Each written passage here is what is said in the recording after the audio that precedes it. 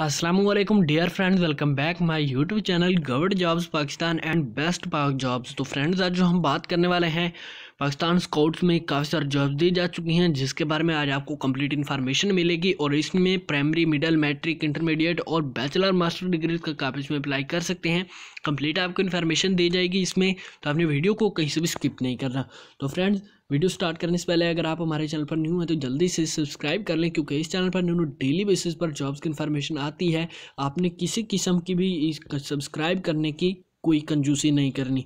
तो सिंपली आपने आ जाना इस साइड की लिंक आपको डिस्क्रिप्शन में मिल जाएगी और सिंपली आपने गवर्नमेंट जॉब्स की सेक्शन पे क्लिक करना है। जैसे ही आप यहाँ पर क्लिक करते हैं तो इस वीक की जितनी भी गवर्नमेंट जॉब्स होंगी तो आपके सामने ओपन होकर आ जाएँगी। जैसे कि यहाँ पर एहसास प्रोग्राम में जॉब्स आ चुकी हैं हेल्थ डिपार्टमेंट और चाइल्ड डेवलपमेंट सर्वे सर्वे में जॉब्स आ चुकी हैं। तो सिंपली ये आपने अच्छी तरह से रीड आउट कर लेनी है। शायद आपकी मतलब मुताबिक यहाँ पर जॉब्स पढ़ी हूँ। तो पाकिस्तान स्काउट्स जॉब्स दो हज़ार इक्कीस फॉर मल्टीपल पोस्ट तो सिंपली आपने इसे ओपन कर लेना है। जैसे ही आप यहाँ पर क्लिक करते हैं तो हमारे पास इसकी फुल्ली डिस्क्रिप्शन वगैरह हमारे पास आ चुकी है। तो इसकी पोस्टेड ऑन ये तेरह फरवरी दो हज़ार इक्कीस को हुई है। एजुकेशन मिडल मैट्रिक होनी चाहिए और इंटरमीडिएट और इसमें पोजिशन टोटल्स हैं।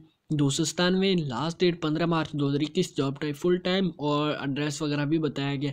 वैकेंट पोजीशंस बार civilian carpenter civilian fire tender Creo और इसी तरह से सिविलियन पेंटर कुक यूनिट धोबी, माली मैन मेन स्वीपर मेस और सैनिटरी वर्कर सिपाही क्लार्क ड्राइवर सिपाही कुक मेस और सिपाही ई एम ई सिपाही जी डी सिपाही नर्सिंग असिस्टेंट और सिपाही सिग्नल टेलर की भर्तियाँ खाली पड़ी हैं। इसमें आपकी असामियाँ खाली पड़ी हैं और इसमें आप इन पोस्ट से आप अप्लाई कर सकती हैं।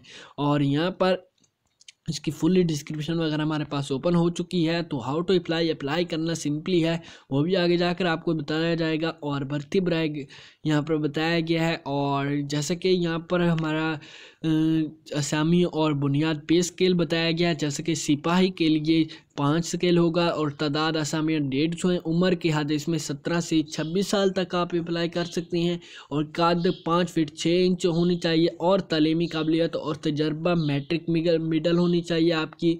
और इसी तरह से यहाँ पर पोस्ट नेम और यहाँ पर तादाद असामी और यका यहाँ पर जिस मतलब तारीख को आपका टेस्ट होंगे, भर्ती होगी, उम्र, ओ सॉरी इसमें उम्र की हद बताई गई है सत्रह से छब्बीस साल तक आप अप्लाई कर सकते हैं। उम्र की हद बताई गई है और इसमें कद पाँच फिट छः इंच होना चाहिए और इसमें तालीमी काबिलियत बताया गया तो इस तरह से ये आपने रीड आउट अच्छी तरह से कर लेना है। मुदरजा जैर बाला असामियों में ज़्यादा तालीम रखने वाले उम्मीदवारों के लिए उम्र की हाथ मुदरजा झैल होगी। जैसे कि F A F S C वाले जो भी स्टूडेंट्स होंगे, उनके लिए पन, उम्र की याद सत्रह से चौबीस साल होगी और B A B S C के लोग जो जो भी होंगे, वो अप्लाई करेंगे तो उनके लिए उम्र की याद सत्रह से पच्चीस साल रखी गई है और M A M S C वालों के लिए उम्र की हद सत्रह से छब्बीस साल रखी गई है। तो जैसे कि यहाँ पर भर्ती का प्रोग्राम बताया गया, जैसे कि इसमें